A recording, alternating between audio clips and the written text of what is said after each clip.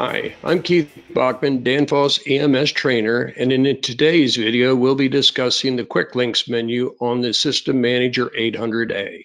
So when you first log into the control by your uh, authorization code, you will come to this uh, home screen, which is our dashboard right here. This will be the screen that you will see. And we're going to talk about the menu options that are right here, which are called the Quick Links. So under this quick links, we have, as you can see, 10 different options, which makes it quicker to get to these features um, by just simply uh, going and pressing on any given menu item here.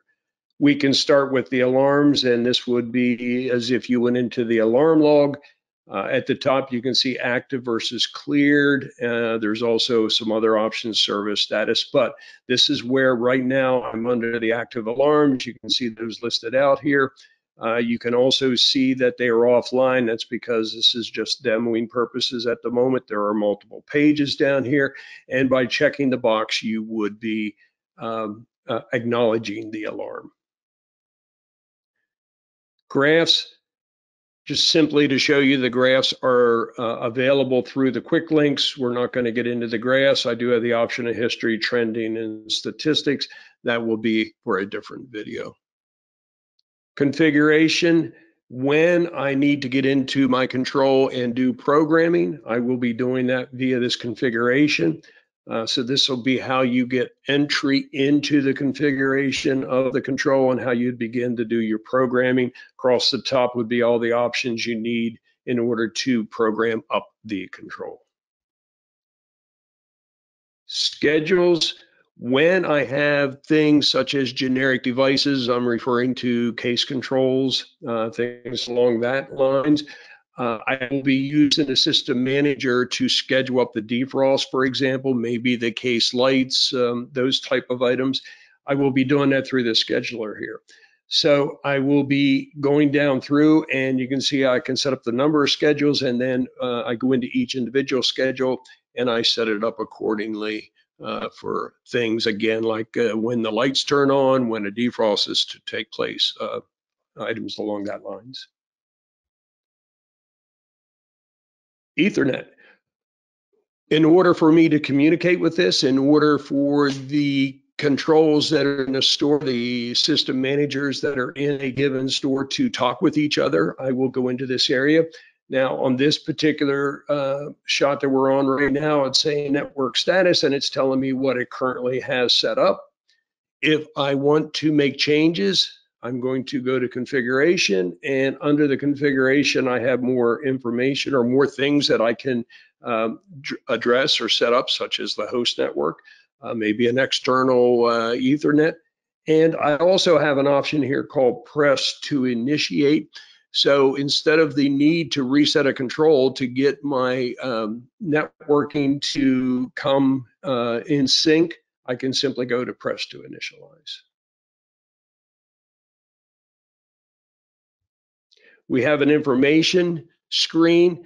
You can see the details related to this specific control, uh, such as the name and uh, the unit name and uh, what type of control it is, uh, and the uh, more important things that you maybe would be uh, needing to give this information to the tech support if you call in for one reason or another would be things such as the software version, the SVBD, now that is the browser version, uh, or the DANIX, which is uh, like the internal BIOS of the control. So uh, multiple things there that can be important to our tech support group if uh, you were having some issues or needed some more detail on the given control.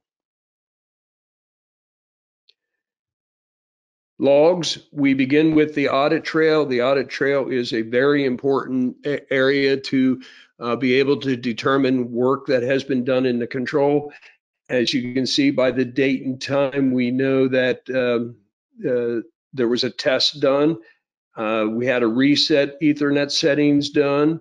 Uh, you can see by the date and time, we had the HTTPS uh, gone from no to yes. So everything on the right hand side of the arrow is what it got changed to.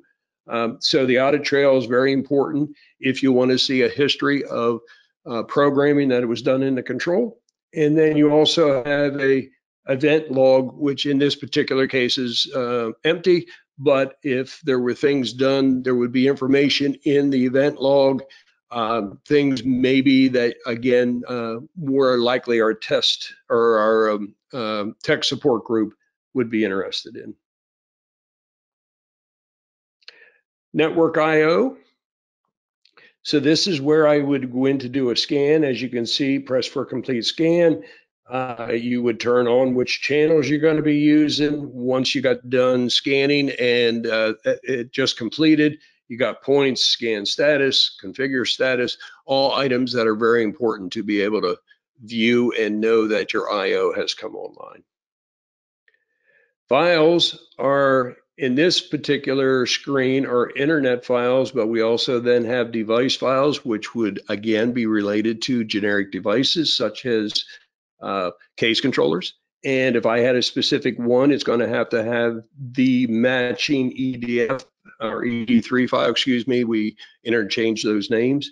And so in order to find that file, you might have to go in here to validate that it's there.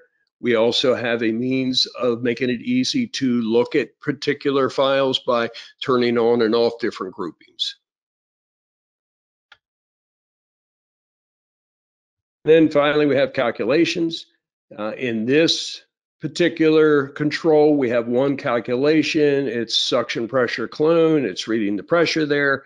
And if I would go to the arrow on the right-hand side, it would go into the details and I could modify um, or look at more detail on this particular calculation.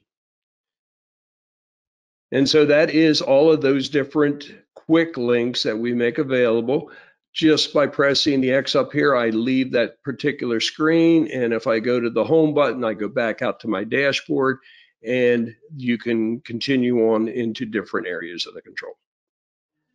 Thank you for watching our video. And for more documentation and videos on the system manager, please visit danfoss.com slash supermarket support.